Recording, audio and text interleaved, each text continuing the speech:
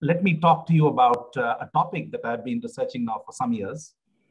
Um, so I have had an interest in business models for many years, uh, uh, since approximately 2004.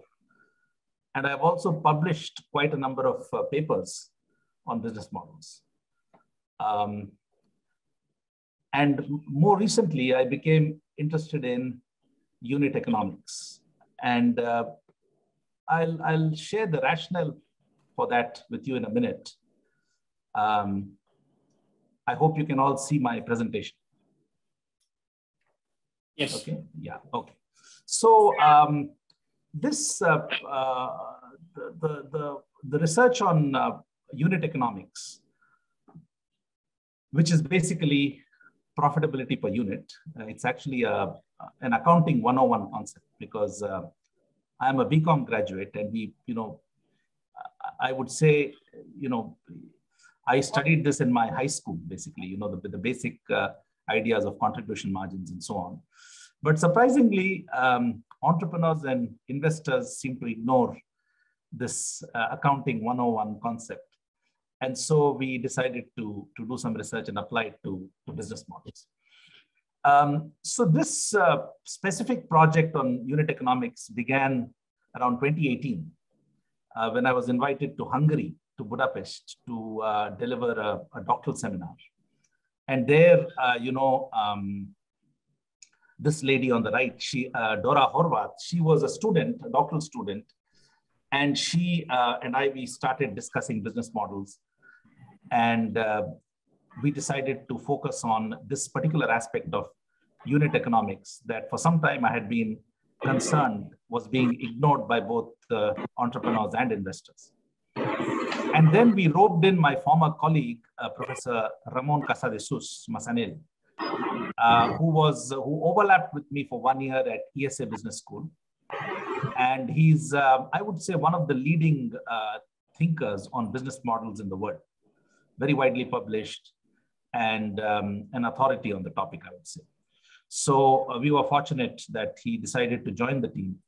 And uh, our work resulted in uh, a paper that was published in the February issue of the MIT Sloan Management Review. Uh, the title is When Losing Money is Strategic and When It Isn't. So um, let me set the scene, okay, by sharing with you some examples of companies that have been founded by very, very bright people, you know, with very advanced degrees, and that have also been backed by uh, some very hard-nosed investors. And yet these companies have made some very basic mistakes, right? So MoviePass was a company that was founded in 2010, and it actually received an award for being one of the most disruptive apps in 2012.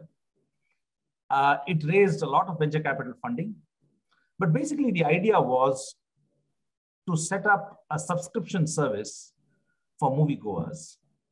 And the initial pricing of the subscription was $50 a month. And you could watch an unlimited number of movies uh, if you paid the subscription price. Uh, they later dropped the uh, subscription to between 25 and $40, depending on the location in the US. And finally, you know, in a, in a, in a bout of aggression, I would say, they dropped it to $9.95 per month uh, for two, uh, for one 2D movie per day, okay? The moviegoers were delighted and within a month, the number of subscriptions reached 400,000. The problem was that MoviePass could not convince the movie theater chains in the US to either give it a commission or give it a discount. So basically, MoviePass was paying between $9 and $12 for each movie ticket. Um, and it was charging customers only $9.95 a month. And no, no wonder it was hemorrhaging cash. So it tried a number of uh, iterations with its, uh, with its uh, pricing, uh, raising prices, restricting the number of movies that uh, moviegoers could go to and charging a premium of $6 for new release fil films, etc. But none of these strategies worked. And finally, the company actually shut down in January of 2020. Okay. After having burned tens of millions of dollars. Another example, uh, a two-sided platform that brought together uh, customers who wanted their homes cleaned with home cleaning services providers. And they raised 38 million in 2013. A typical mistake with venture capital uh, backed ventures, as you all know, is the push for growth. Okay, so they opened their services in 30 cities in the US, Canada, and the UK in less than six months, thanks to the money that they had raised. Now, the pricing was they had to pay the home cleaning services providers $85 for two and a half hours of cleaning. This was the average price. They, they were average cost for them. And they offered a promotional price to households of $19 only. Okay. So you could say that this was a strategy for them to acquire new customers. Uh, and they promoted this heavily on promotion sites such as Groupon. But the problem is that once households had used the promotional offer, they did not rebook the service. Only 15 to 20% of them did. And after six months, only 10% of the original customers were still using the service. So this company also shut down in 2015. And finally, an example from, so here basically what I'm saying is that the one, one reason for failure was that the customer acquisition costs were too high relative to the customer lifetime value. I'll talk about this a little more later in the presentation. A third example is uh, Ofo, a bike sharing company. Okay, um, they raised 2.2 billion with some of the most uh, marquee investors in, the, in, in China, including Alibaba. And there were also some um, Silicon Valley venture capital funds that have offices in China that invested in the company. They uh, also expanded rapidly, similar to HomeJoy, maybe even faster than HomeJoy, entered the 100th city globally within seven months after opening in the first city, which was Beijing. It was a non-docking model, just, just uh, you know, just to explain that uh, if you if you picked up a bike, you picked up a bike using a QR code, which you scanned on your on your cell phone, and the you paid um, digitally, you paid using your mobile phone, you paid one RMB for each each hour that you use the bike. So if you picked it up, let's say outside outside a metro station, you could drop it off anywhere you liked there was no concept of a docking station where you had to drop off the bike. You could drop it off anywhere that you found, found it convenient to do so. And they, uh, unfortunately, so they, there was another company called uh, Mobike that, that was also a bike sharing platform that was the pioneer in, in China. And Ofo decided to follow the strategy of sourcing cheaper bicycles than its rivals. Mobike was not the only one, which resulted in higher repair, repair costs for Ofo. And the model was that customer, customers paid a deposit of 99 RMB, which is about a thousand rupees in, in the at the current exchange rates. And later, they, this, this deposit was in, increased to uh, about 2,000 rupees. And the price, as I said, was one RMB per hour, roughly 10 rupees per hour of bike usage. And it was just not generating enough profits. Uh, it was a hyper competitive market, which made it very difficult for them to raise prices. And their focus was not on the profitability by, per bicycle uh, or profitability per customer. They were focusing on the total number of rides. And they also shut down so what you're seeing here is one of many bicycle graveyards in China. This is not the only one. There are, there are many, many, where companies like Ofo that shut down, you know, the bicycles were collected and dumped in a site like this because the city, uh, the municipal governments in the, of the cities like Shenzhen and Shanghai were getting more and more frustrated that they had useless bikes cluttering the pavements. So what is the problem here? The problem is that many high growth ventures make poor pricing and resource allocation decisions due to a fundamental lack of understanding of the financial aspects of their business model. Startups, especially those backed by VCs that are pushing for high growth, frequently make losses at the venture level.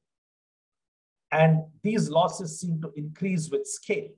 We are seeing that in India, you know, uh, at the time Flipkart was acquired by Walmart, uh, you know, you, you could track the, the, the growth of the company and the more it grew, the more losses it was making. Uh, so the key question that we need to understand is, are the losses healthy or unhealthy? Some of the losses in some ventures can be attributed to the upfront investment in growth. And so we refer to these as healthy losses, right? The, the venture is making a positive contribution margin per unit. And the losses are attributable, as I said just now, to the upfront investment in growth. And therefore, with scale, the losses can be converted to profit. The overheads will be absorbed, you know, as the company scales and the losses will be converted to profits. What are unhealthy losses? Unhealthy losses are those where the venture is fundamentally making a negative contribution margin per unit. And this often, almost always actually, reflects a fundamental problem with the business model. And scale, in this case, is not a solution. It'll actually make things even worse. Now, there are some exceptions to what I've just said. Okay? When are losses per unit not necessarily unhealthy?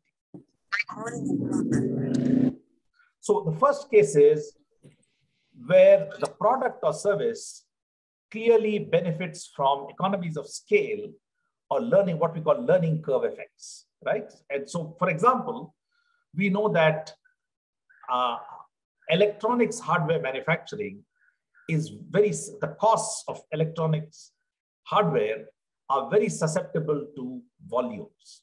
So as you ramp up volumes, be it computers or iPads or phones or any other type of uh, electronic hardware, the costs decline very sharply. Okay, so this is actually a proven um, proven fact. Okay, there is abundant evidence to support that costs in electronics hardware manufacturing drop sharply with scale. And Xiaomi, for example, which is very big in India, the Mi, the Mi phones, the Redmi and so on, they count on this. And I'm going to illustrate to you very soon with a, with a graph how they think about um, unit economics uh, in the uh, context of electronics hardware production. A second case where uh, unhealthy losses may be acceptable is when the company is sure that with large volumes, additional sources of revenue will emerge. Okay. So this was what MoviePass was banking on.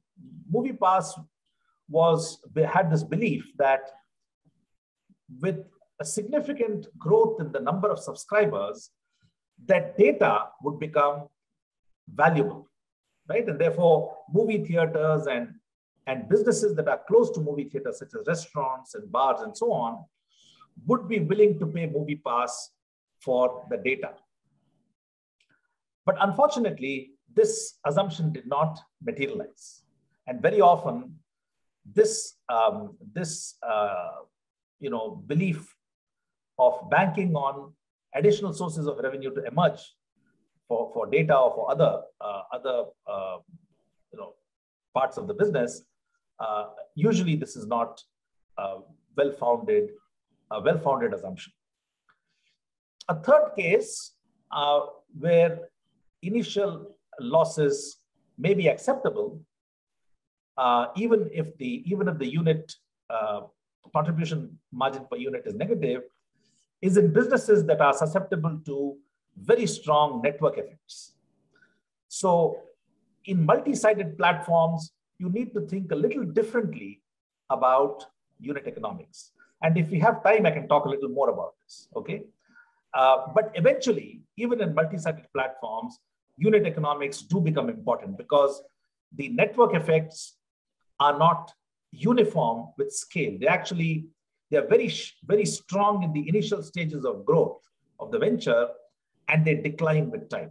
Just to give you an example, if I'm living in Chennai, I want a, a ride hailing platform that has a large number of, of cars. This is called a cross-side network effect, right? So I'm a user of Uber or Ola, and I want a platform that has tens of thousands of cars.